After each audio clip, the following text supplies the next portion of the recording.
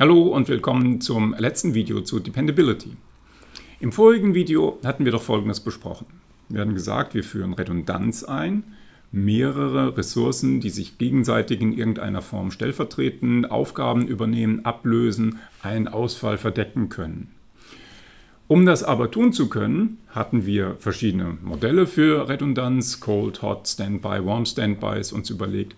Und es war dabei immer die Idee dabei, dass ich vielleicht mitbekommen kann, in der einen oder anderen Form, dass ein anderes System ausgefallen ist. Sei es in einer hierarchischen Gruppe der Anführer, sei es das System, das ich gerade persönlich direkt unmittelbar stellvertreten soll, wie auch immer. Ich muss mitbekommen, dass irgendetwas schiefgegangen ist. Ich muss einen Ausfall detektieren. Ich brauche einen Failure Detector. In diesem Video hier unterhalten wir uns über Failure Detection. Also, wann mache ich den Übergang, die Übergabe der Aufgaben von einem hauptsächlichen eigentlichen System zu einem Standby-System? Wann beschuldige ich denn ein System, dass es ausgefallen ist? Das hat zwei Probleme. Das hat äh, das mögliche Problem, dass ich eine Entscheidung für einen Übergang zu spät mache. Das ist im Sinne eines Failure Detectors ein False Negative. Die negative Aussage bei der Detektion des Fehlers ist ja, es funktioniert. Und hier ist der False Negative. Es funktioniert, es liegt kein Fehler vor, aber das war verkehrt. Es lag ein Fehler vor, ich habe es zumindest zu spät gemerkt. Also, ich kann zu spät entscheiden als False Negative.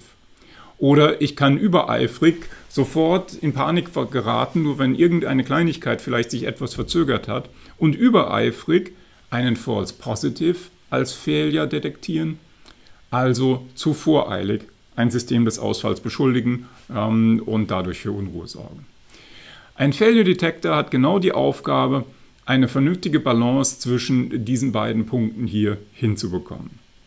Ähm, Sie ahnen, ich sage Balance dazwischen. Äh, es wird Ihnen wieder nicht gelingen, in, unter realen, plausiblen Systemannahmen einen Failure Detector zu bauen, der keine False Negatives und False Positives hat. Eins von beiden ist trivial. Wenn Sie sagen, Sie brauchen einen Failure Detector, der keine False Negatives erzeugt, naja, was machen Sie? Überlegen Sie sich die Begrifflichkeit. Wenn Sie keine False Negatives erzeugen dürfen, als Failure Detector. Sie detektieren einen Failure. Eine Nicht-Detektion ist die Aussage, es ist positiv. Sie dürfen nie fehlerhaft sagen, es ist positiv. Sie sagen immer, es ist kaputt. Sie sagen immer, es ist kaputt. Umgekehrt sagen Sie immer, wenn Sie keine False Positives erzeugen dürfen, dann sagen Sie, es ist nie kaputt, es funktioniert immer alles.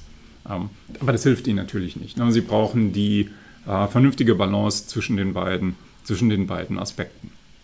So, was kann ein Failure Detector jetzt tun? Im allgemeinen abstrakten Sinne können Sie sagen, ein Failure Detector hat eigentlich drei mögliche Meinungen, die er über das zu überwachende System haben kann, über den Zustand des zu überwachenden Systems haben kann.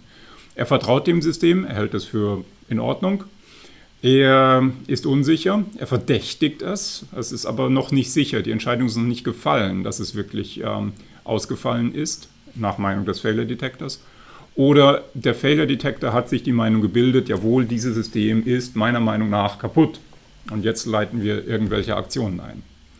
Das Problem dabei ist, dass äh, diese Meinungsänderung äh, typischerweise verzögert sein wird gegenüber dem, was das System tatsächlich tut, gegenüber dem wahren Systemzustand. Was ich Ihnen hier versucht habe aufzumalen, ist über der Zeit, als die untere blaue Kurve den Wechsel eines reparaturfähigen Repairable Systems, das von OK nach Failed und wieder zurückwechselt zu irgendwelchen Zeitpunkten. Es spielt keine weitere Rolle, wann das wie geschieht. Und oben drüber haben wir die Einschätzung unseres Failure Detectors stehen. Zu Beginn ist das System okay und unser Failure Detector denkt auch, es ist okay. Die Meinung stimmt mit der Wirklichkeit überein. Wunderbar. Ähm, hier haben wir einen Fall, wo das System ausgefallen ist, gerade nicht in der Lage ist, seinen Dienst zu erbringen, aber das hat unser Failure Detector nicht mitbekommen. Er hält es fälschlicherweise für korrekt. Er hat den Failure übersehen. Hier verdächtigen Sie einen Ausfall, obwohl alles gut ist. Hier sind Sie noch verzögert, ähm, haben den Ausfall noch nicht bemerkt. Hier haben Sie den Ausfall bemerkt und äh, sind aber noch so in der Verdächtigung, in der Suspektphase. Ne? Sie haben sich noch keine abschließende Meinung gebildet. Ähm, das System hat hier tatsächlich jetzt wieder sich repariert, gebootet oder ähnliches. Das haben sie noch nicht unmittelbar gemerkt. Erst hier haben sie gemerkt, oh, es funktioniert wieder. Hier ist wieder alles schön. Hier ist unser System permanent ausgefallen. Auch hier, nee, sie denken, es funktioniert noch. Hier verdächtigen sie es, aber hier geht, ist ihre Geduld zu Ende. Und sie stufen es als permanent ausgefallen ein. Okay, das ist so typische Beispiele, was da passieren kann äh, zur Meinungsbildung versus Realität. Was heißt das praktisch? Ähm, jetzt brauchen wir natürlich noch praktische Detektoren, die das wirklich tun. Ähm, es gibt zwei wesentliche Sorten von Dingen, die Sie tun können. Das erste ist ein sogenannter passiver Fehlerdetektor. Sie machen selber gar nichts, Sie überwachen sich, äh, Sie, Sie schauen sich lediglich an, welche Nachrichten sowieso von Ihrem zu überwachenden System entstehen. Ähm, zum Beispiel sind Sie in der Lage, Anfrage- und Antwortnachrichten zu beobachten, die in das System und aus dem System herausfließen. Und wenn Sie sehen, dass immer wieder auf Anfragen auch Antworten kommen, dann sind Sie glücklich und halten Ihr System für äh, lebendig. Vielleicht äh, haben Sie sogar die Vereinbarung getroffen mit dem zu überwachenden System, dass es periodisch Nachrichten senden soll. Es soll gelegentlich mal I'm alive, piep, piep sagen. Und solange Sie diese Pieps empfangen, ist alles gut. Was passiert, wenn Sie diese Pieps nicht empfangen? Naja, vielleicht ein einziger Piepverlust ist noch nicht unbedingt äh, Grund genug, es für absolut tot zu erklären, aber vielleicht schon Anlass zur Sorge. Nicht? Es ist ein Suspekt, Sie verdächtigen es. Ähm, aber Sie sehen hier sofort diese, diese Diskrepanz zwischen Verdächtigung und Wirklichkeit. Der Verlust einer einzelnen Nachricht heißt noch lange nicht, dass das System wirklich ausgefallen ist. Vielleicht ist nur die, die I'm Alive Message verloren gegangen. Warten Sie eine zweite, warten Sie eine dritte ab. Wie wahrscheinlich ist es, dass zwei oder drei oder vier I'm Alive Messages hintereinander verloren gegangen sind, obwohl Ihr System eigentlich funktioniert? Irgendwann werden Sie sagen, das ist zu unwahrscheinlich. Exponentielles Abnehmen, zeitliche Redundanz, exponentielles Abnehmen der Wahrscheinlichkeit, dass fünf Nachrichten hintereinander vergangen sind.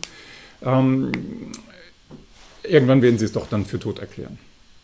Das wäre ein Passive äh, Failure Detector. Sie können das auch aktiv machen als Failure Detector. Sie können solche I'm Alive Messages explizit anfordern. Das ist ein sogenanntes Heartbeating. Sie senden eine Nachricht, ein Ping, gib mir einmal eine Antwort, bist du noch da? Und Sie erwarten eine Antwort zurück. Und wenn das ein paar Mal nicht funktioniert, dann erklären Sie den anderen Knoten wieder für tot.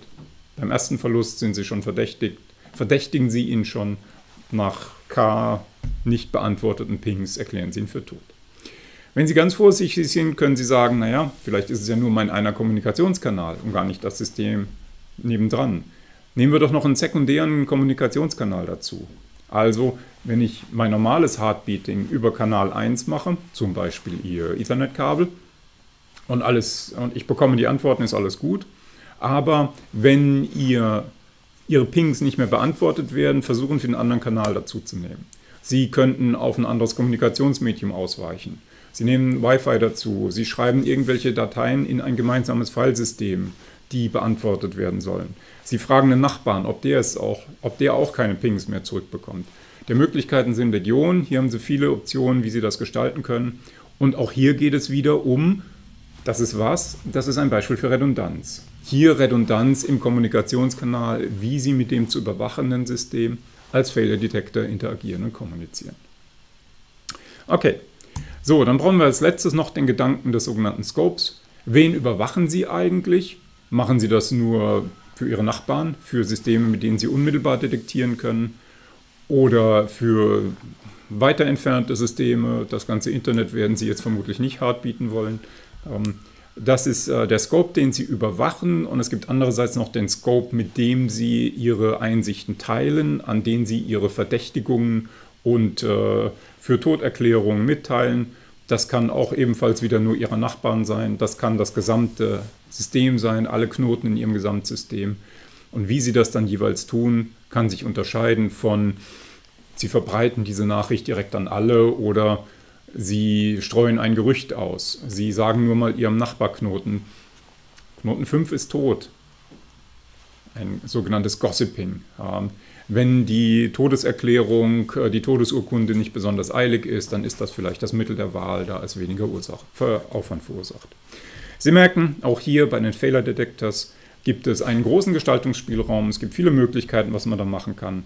Was Sie sich hier merken sollten, ist die Vorstellung, dass Sie den Unterschied zwischen Meinung und Wirklichkeit immer im Kopf behalten müssen. Die Vorstellung, dass es False Positives und False Negatives geben kann bei dem Detektieren von Fehlern. Dass Sie verschiedene Techniken haben, wie Sie das tun können. Uh, Active versus Passive Failure Detection und dass es die Frage sich stellt, wen Sie eigentlich überwachen und mit wem Sie eigentlich Ihre Ergebnisse teilen, das Scoping des Failure Detections. Sehr schön. Damit haben wir die Grundlagen gelegt, wie wir Client-Server-Systeme jetzt tatsächlich verbessern können. Die Dependability haben wir jetzt im Wesentlichen abgeschlossen. Jetzt müssen wir im nächsten Kapitel, jetzt müssen wir uns im nächsten Video Jetzt müssen wir uns im nächsten Video darüber unterhalten, wie wir daraus plausible Architekturen ableiten. Das wird die Vorstellung von sogenannten Multitier-Architekturen für Client-Server-Systeme sein. Bis dahin, zunächst mal danke fürs Zuhören.